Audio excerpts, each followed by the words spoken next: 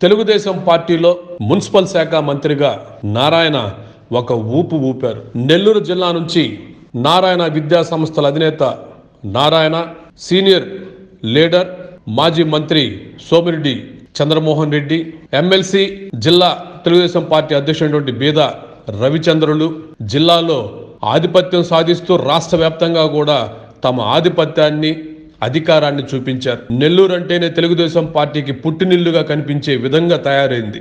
అలాంటి నాయకులు ఈ రోజు కనుమరుగయ్యారు. బీదా రవిచంద్ర కానీ మాజీ మంత్రి సోమిరెడ్డి చంద్రమోహన్ రెడ్డి కానీ తెలుగుదేశం పార్టీ సమావేశాల్లో ప్రెస్ మీట్లలో కనిపిస్తూనే ఉన్నారు మనకి. తెలుగుదేశం పార్టీలో చంద్రబాబు తర్వాత ముఖ్యమంత్రి తర్వాత ఆయన తనయుడిని కూడా పక్కన పెట్టి ముఖ్యంగా ప్రాధాన్యత ఇచ్చిన వ్యక్తి ఓ మంత్రి విద్యా సంస్థలైనటువంటి నారాయణ విద్యా సంస్థలకు అధినేత అయినటువంటి నారాయణకే. ఆయనకు నారాయణకు మాజీ ముఖ్యమంత్రి నారా చంద్రబాబు నాయుడికి అవినావభావ సంబంధం ఉంది. ఆయన విద్యా సంస్థల్లో నారాయణ పెట్టుబడులు కూడా ఉన్నాయన్న ప్రచారం అప్పటి రాజకీయాల్లో చోటు చేసుకుంది. రాష్ట్ర ముఖ్యమంత్రిగా నారా చంద్రబాబు నాయుడు ఉన్నప్పుడు ఆయన విద్యా సంస్థలను దేశవ్యాప్తంగా ప్రపంచవ్యాప్తంగా విస్తరింపజేసుకున్నాడు. తర్వాత డాక్టర్ వైఎస్ రాజశేఖర రెడ్డి ముఖ్యమంత్రి అయిన తర్వాత రాజశేఖర రెడ్డికి అనుకూలంగా ఆయన ముందు అతి వినయంగా ఉంటూ తన విద్యా సంస్థలను కాపాడుకున్నాడు. తదంతరం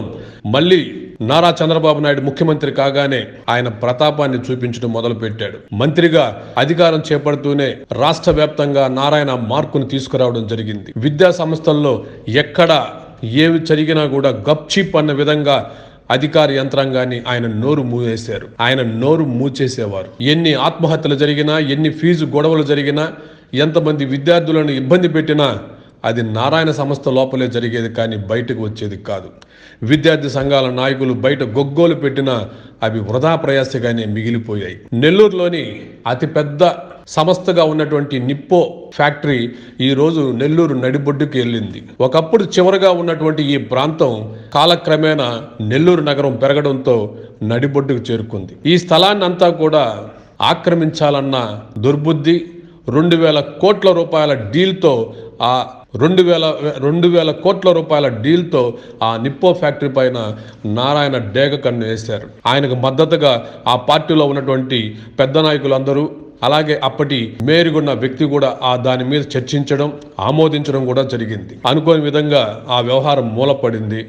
ప్రస్తుతం అది కోర్టులో ఉన్నట్టు సమాచారం. అంతటి హవా నడిపినటువంటి నారాయణ ప్రస్తుతం కనుమరుగయ్యాడు. నెల్లూరు ప్రజలకు కూడా ఆయన కనిపించడం కరువైంది. రాష్ట్రంలో జగన్మోహన్ రెడ్డి అధికారంలోకి వచ్చిన తర్వాత నారాయణ చేసిన అవినీతి అక్రమాలను బయటపెట్టడం మొదలుపెట్టారు. రాజధానిలో భూ కుంభకోణం విద్యా సంస్థల్లో ఒకే పర్మిషన్తో అనేక విద్యా సంస్థలు నడవడం అధిక ఫీజులు వసూలు చేయడం ఇవన్నీ కూడా నారాయణ నారాయణ సంస్థ నుంచి అనేక అవినీతి కోణాలను బయటకు తీయడం జరిగింది. మంత్రిగా ఉన్నప్పుడు ఆయన చేసినటువంటి అవినీతిని కూడా బయటకు తీయడం జరిగింది. దీంతో రాజీ బేరాన్ని మొదలు పెట్టాడు నారాయణ. ముఖ్యమంత్రి జగన్మోహన్ రెడ్డిని కలుసుకోవాలని ఆయనకి పార్టీ ఫండ్ ఇవ్వాలని ఎటువంటి ఇబ్బందులు లేకుండా తన సంస్థ కానీ తాను మనగుడ కొనసాగించాలని అనేక ప్రయత్నాలు చేసినా రాష్ట్ర ముఖ్యమంత్రి వైఎస్ జగన్మోహన్ రెడ్డి దగ్గరికి రానియకపోవడంతో అతను కాస్త వెనకడి వేశాడు. ఏం జరుగుతుందో తన విద్యా సంస్థలు తన హాస్పిటల్స్ తన వ్యాపార సంస్థలు ప్రపంచవ్యాప్తంగా ఉన్న తన ఆస్తులని కాపాడుకునేందుకు ఆయన మౌనంగా ఉండిపోయారు. ముఖ్యమంత్రికి సన్నిహితంగా ఉన్నటువంటి నాయకులతో మాత్రం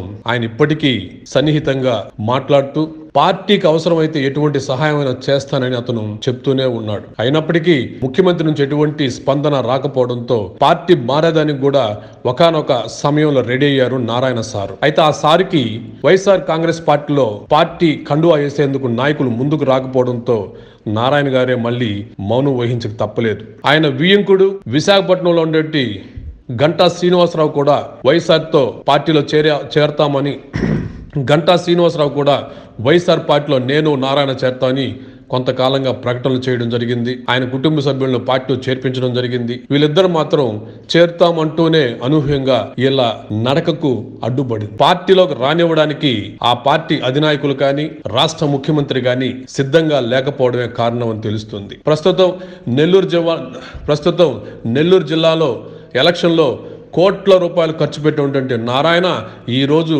నెల్లూరు ప్రజలకే కనుమరుగయ్యాడు. ఎన్నికల్లో వైఎస్ఆర్సీపీ అభ్యర్థిగా పోటీ చేసినటువంటి ప్రస్తుత మంత్రి అనిల్ కుమార్ యాదవ్ పై తాను గెలుపు ఖాయం అనుకొని వంద కోట్ల పైనే ప్రజలకు విచ్చలవిడిగా పంపిణీ చేశాడు. ఈ పంపిణీలో ఆయన అనుచరుల సగం తినగా మిగతాదంతా కూడా సక్రమంగా ఎవ్వరికీ చేరలేదన్నది సమాచారం. అయినప్పటికీ రాష్ట్రంలో వైఎస్ఆర్ గాలి విపరీతంగా ఉండడం ఫ్యాన్ తిరుగుడు ఎక్కువగా తిరగడం అందులోను నెల్లూరులో మార్పు కావాలని కోరుకున్న ప్రజలకి అనిల్ యాదవ్ని గెలిపించుకోవడంతో నారాయణ చాలా వరకు తగ్గుముఖం పట్టాడు. విచ్చలవిడతనంగా ఎవరిని లెక్క చేయకుండా తన విద్యా సంస్థల్లోనే పార్టీ కారాన్ని స్థాపించుకొని మధ్యస్థాలు రాజకీయ సమావేశాలు రాజకీయ పంచాయతీలు చేపట్టే నారాయణ ఈ రోజు ఎక్కడున్నావయ్యా? అంటూ ప్రజలు అడుగుతున్నారు. ఆ పార్టీ నాయకులు కూడా నారాయణ ఎక్కడున్నాడు ఎత్తుక్కుంటున్నారు. పార్టీ అధికారులు ఉన్నప్పుడు సుఖాలు అధికారాలు పదవులు అనుభవించేందుకు ముందుకు వచ్చేటువంటి నారాయణ లాంటి నాయకులు పార్టీ కనుమరుగయ్యి ప్రతిపక్షం అధికారంలోకి వచ్చిన తర్వాత చాప కింద నీరులా చేరి రాజీ వ్యవహారాలు నడిపిస్తున్నారు. రాజకీయాల్లో ఉన్నప్పటికీ అధికారంలో లేకపోయినా ప్రజలకు సేవ చేయాలన్న ఒక సంకల్పం ఉంటే ముందుకొచ్చి ప్రజలకు సేవ చేయొచ్చు. నారాయణకి అనేక విద్యా సంస్థలు ఉన్నాయి నెల్లూరు జిల్లాలోనే అత్యధికమైనటువంటి పెద్ద హాస్పిటల్ నారాయణ హాస్పిటల్ ఉంది. ఆయన సేవ చేయాలనుకుంటే ఈ కరోనా కాలంలో ఎంతో మందికి ఉచితంగా ఆయన వైద్యం అందించి ఉండొచ్చు. అలాగే విద్యా సంస్థల్లో కూడా ఆయన ఉచితంగా విద్యని తక్కువ ఫీజులకి విద్యను అందించుండొచ్చు. ఈ కరోనా సమయంలో రాష్ట్ర వ్యాప్తంగా ప్రజలు ఎంతో ఇబ్బంది పడుతున్నారు. ఉపాధ్యాయులకు కూడా జీతం ఇవ్వలేని పరిస్థితుల్లో ఈ రోజు నారాయణ విద్యా సంస్థలు ఉన్నాయి. తాత్కాలికంగా కొన్ని సంస్థలు మాత్రమే నడుపుతూ ఎంతో మంది ఉపాధ్యాయులను వీధులు పాలు చేసిన ఘనత ఈ రోజు నారాయణ విద్యా సంస్థలకు దక్కింది. Narayana one two three four six అనే ప్రకటనలు ఎప్పుడో కనుమరుగైనాయి. కరోనాతో కొట్టుకుపోయే ఈ విద్యా సంస్థలన్నీ. రాజకీయంలో వేల కోట్లు సంపాదించినటువంటి నారాయణ ఈ రోజు ప్రజలకు ఎందుకు సహాయం చేయట్లేదు? కరోనా కాలంలో